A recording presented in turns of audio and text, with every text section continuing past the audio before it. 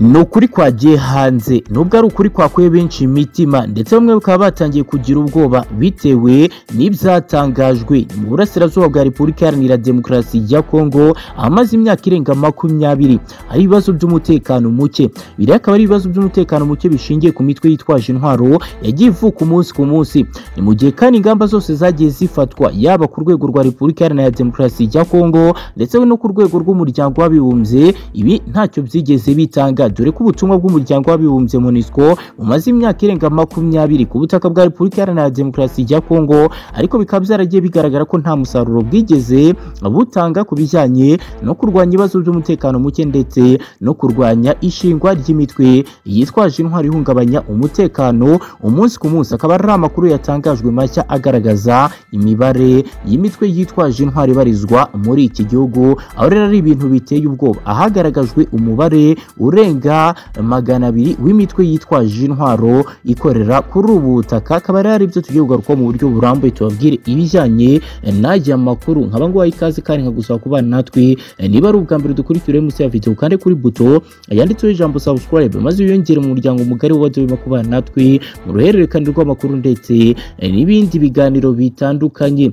Ni muri repubulika iharanira demokarasi ya kongo bakaba batangaje ko kuri ubu ngubu hari imitwe yitwaje intwaro magana abiri na mirongo itandatu n'itandatu ikorera mu burasirazuba bw'iki gihugu. Ibi akaba ari ibintu byateye benshi ubwoba ndetse bamwe bibaza niba koko repubulika iharanira demokarasi ya kongo yazigera igera ku ntsinzi yo kwigobotora iyi mitwe cyangwa bizarangira n'ubundi iyi mitwe ikomeje kuba ikibazo gikomeye muri iki gihugu. Ibi rero kandi bikaba byatangajwe na antomi tambwe ushanda ukuriye gahunda yo kwambura intwaro imitwe yitwaje intwaro no gusubiza mu buzima busanzwe abayihozemo. Yavuze ko mu mitwe yitwaje intwaro ikorera muri repubulika iharanira demokarasi ya kongo harimo imitwe igera kuri magana abiri na mirongo itanu n'ibiri ikomoka imbere mu gihugu ndetse na cumi n'ine ikomoka mu bihugu by'amahanga birimo n'u rwanda. Mu mitwe ikomoka mu mahanga ikorera mu burasirazuba bwa repubulika iharanira demokarasi ya kongo hakaba harimo umutwe wa fdr rudurunana ndetse n'imitwe ya p5 ishamikiye ku ishyaka rnc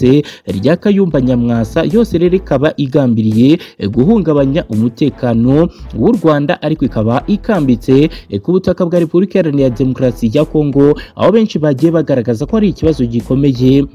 Muri iki gihugu ni mu gihe kandi harimo n'indi mitwe iteye ubwoba ndetse yamaze gushyirwa ku rutonde rw'imitwe yitwaje intwaro ikora ibikorwa by'ubugizi bwa nabi. Irimo red irimo adf irimo kodeko iyi rero akaba ari imitwe ikomeje kugenda igira uruhare rukomeye mu bikorwa by'ubugizi bwa nabi mu ntara ya kivu y'amajyaruguru ndetse na ituri aho kenshi usanga ibitero kodeko igaba ku baturage bitana abaturage batari bake. Nyuma y'uko aya makuru agiye hanze bamwe mu bakoresha imbuga nkoranyambaga. Bakaba bagaragaje gutabaza gukomeye ndetse n'akaga igihugu cyabo kigiye guhura na cyo nyuma y'uko imitwe ikomeje kugenda yiyongera umunsi ku munsi. Ni uwitwa hasani mukwende yagize ati birababaje cyane kubona igihugu cya repubulika iharanira demokarasi ya kongo cyakabaye intangarugero mu iterambere muri afurika cyugarijwe n'imitwe yitwaje intwaro ikomeje kuvuka umunsi ku munsi. Ngenda asaba igisirikare cy'igihugu ndetse n'inzego zishinzwe umutekano guhagurukira iki kibazo kikarwanywa kuko repubulika iharanira demokarasi ya kongo ntabwo yazigera igera ku iterambere rihamye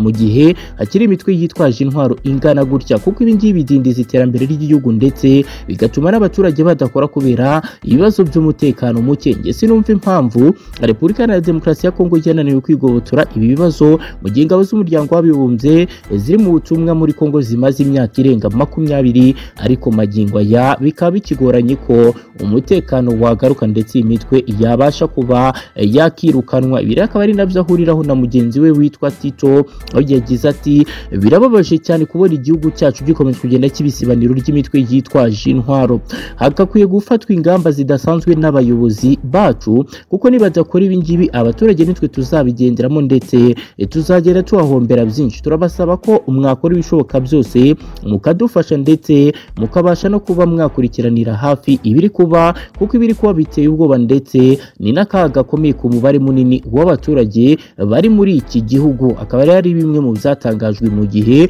mu burasirazuba bwa repubulika iharanira demokarasi ya kongo hamaze igihe kinini hari ibibazo by'urudaca bishingiye ku mutekano muke noneho bikaba byagaragajwe ishingiro ndetse n'umuzi w'ibi bibazo aho hari imitwe myinshi cyane ni mu gihe kandi umuryango wa Afurika y'Uburasirazuba East African Community nawo watangaje ko uhangayikishijwe bikomeye no kuba iki gihugu kirimo imitwe yitwaje intwaro myinshi akaba rero ari amakuru agezweho mu gihe gishinjwa kurasisha indege z'intambara mu bice bituyemo abaturage. Ibintu na byo byateje akaga gakomeye aho kugeza ubu ngubu abaturage bagiye bagaragaza ko icyo bifuza ari amahoro E, turagaruka ku bitekerezo biri gutangwa n'abaturage nyuma y'uko ingabo za East African Community zigeze muri iki gihugu ndetse n'imibereho yabo muri rusange akaba ari inkuru dukesha umunyamakuru Juste Kabumba ukorera ku butaka bwa Repubulika Iharanira Demokarasi ya Kongo wagaragaje isura ndetse n'ishusho y'imibereho y'abaturage yanditse ati gusubira buhoro buhoro kw'abaturage muri gahunda zabo zisanzwe byatangiye mu bice bitandukanye birimo Rumangabo aho ibikorwa by'ubukungu byasubukuwe nyuma y'uko M23 igiye ni mu gihe ku isoko rya Kabaya muri Gisigari na Rucuru abahatuye basubiye mu buzima busanzwe. Muri aka gace ni agace kagenzurwa n'ingabo za Kenya ndetse na Sudani y'Epfo. Akaba ari ibikorwa kuri ubu ngubu biri kugenda biba aho abaturage bagize icyo batangaza ndetse bagaragaza n'amarangamutima. Uwitwa Sumani Kabeya yagize ati ibi rwose biradushimisha cyane. Turabona ko hari intambwe itangiye guterwa. Eh, twari tumaze igihe kinini dufite impungenge z'uko FRDC yagawe ibitero mu bice M23 yigaruriye maze abaturage tukabigenderamo. Gusa M23 ubwo yari ihari eh, twari dufite umutekano usesuye ariko twikangaga ko hashobora kugabwa ibitero.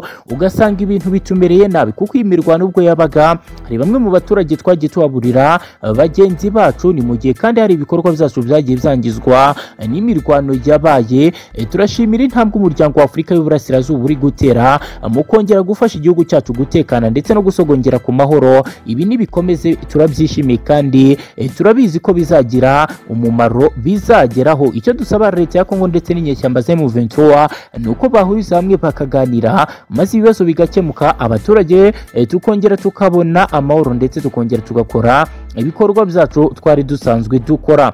Ni mu gihe undi muturage witwa Kabika Aimable yagize ati biragoye cyane ko ubu ngubu twakongera kwizera ko umutekano uzagaruka mu gihe turi kubona ko n'ubundi M23 ikiri muri bimwe mu bice bitandukanye ndetse kuri ubu ngubu tukaba tubona ko urugendo rw'amahoro rutari gukorwa neza. Turasaba inzego za leta ndetse n'inzego zitandukanye zishinzwe umutekano ko zakabaye ziyoboka inzira y'ibiganiro kuko dufite impungenge kuko imirwano ibaye nitwe abaturage igiraho ingaruka kuruta abasirikare bibereye i Kinshasa kuko umuturage ufite ibikorwa bye by'ubucuruzi hano muri rucuru ni we byangirika mu gihe umusirikare wifitiye imitungo y'i Kinshasa ntacyo biba bimubwiye niyo mpamvu dusakambye